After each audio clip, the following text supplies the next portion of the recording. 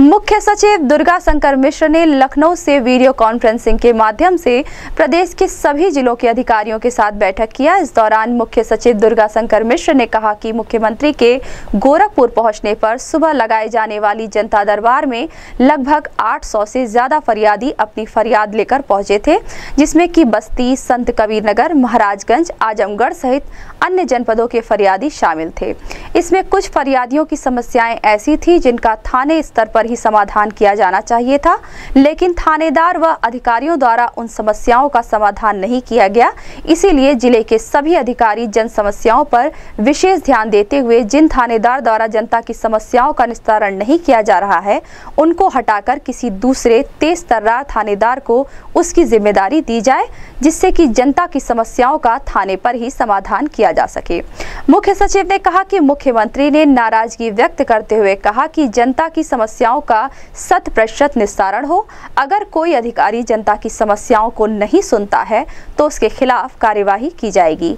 इस अवसर पर एडीजी जोन अखिल कुमार, मंडलायुक्त रवि कुमार एन एनजी डीआईजी जे रविंद्र गौड़, जिलाधिकारी Vijay Kiran Anand S SSP doctor Vipin Tada SP north Manoj Kumar Awasthi सहित अन्य अधिकारी मौजूद रहे?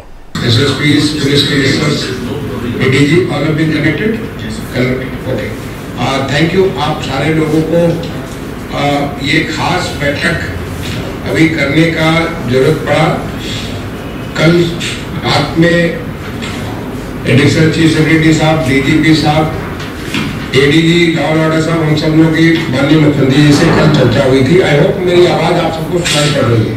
Can somebody just raise your hand and confirm that you are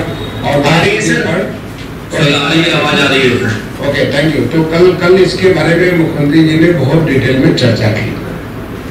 और उन्होंने बहुत ज़्यादा नाराज़गी ज़ाहिर की। तो ये कल ही जो है जनता दरबार में जो पब्लिक को सुनते हैं कल उन्होंने सवेरे सवेरे सुना था। और लगभग 800 लोग उनके सामने उपस्थित हुए थे। जिसमें लगभग निपटारा या तो थाने पे हो जाना था या तहसील पे हो जाना था। ये ज़िले तक भी नहीं जाना था। उसको जो है केवल पचास एक केस ऐसे होंगे तो उन्होंने मोटा मोटी बताया कि पचास है। दूसरा माननीय मुख्यमंत्री जी ने कहा कि ये जो है आ, ये केवल गोरखपुर में गया था तो गोरखपुर के लोग क्यों नहीं थे? बल्कि न केवल गोरखपुर मंडल गोरखपुर मंडल बस्ती मंडल आजमगढ़ मंडल के तो काफ़ी सारे लोग आए थे। केवल गोरखपुर जनपद में भी अगर किसी को अंतिम छोर से आना और ये सुनवाई हो रही सवेरे सवेरे सात बजे। अगर किसी को गोरखपुर डिस्ट्रिक्ट में भी आना हो तो सात बजे आने के लिए उसको कितना वक्त लगेगा? लास्ट में किसी को आना हो तो कितना वक्त लगेगा? बस्ती मंडल में उसको लास्ट में आना हो तो उसको कितना टाइम लगेगा? लखनऊ मंडल से अगर आना हो अंबेडकर अयोध्या मंडल तो उससे भी आएगा। अगर पश्चिम के जनपद है तो यानी सवेरे सवेरे सात बजे के है। तो कब वो चले होंगे? और वो ये भी बता रहे थे कुछ एक तो लेडीज़ आपस की बातें हैं और उसके बावजूद लोग अपनी समस्या का निदान करने के लिए माननीय मुख्यमंत्री जी के उपस्थित होने के लिए कितने घंटों की यात्रा करके इस बात को उन्होंने बहुत ज़्यादा नाराज़गी ज़ाहिर की। इसके पहले भी जब पिछले बार जब हुआ था तो उस बार भी जब सामान्य तौर पर एवरी ट्यूजडे करता हूँ और आज भी साढ़े छह बजे करूँगा।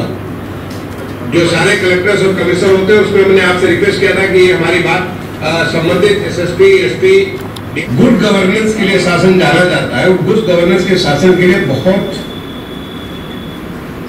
गलत बात है। मैंने हम सारे लोग इतनी मेहनत करें, इतना सारा कुछ काम करें, और उसके बाद सबको ही माननीय मुख्यमंत्री जी के सामने अपना अर्जी लेकर के चला जाए कि उनकी जो थाने की जो समस्या है, उस थाने की समस्या का निदान करने के लिए मुख्यमंत्री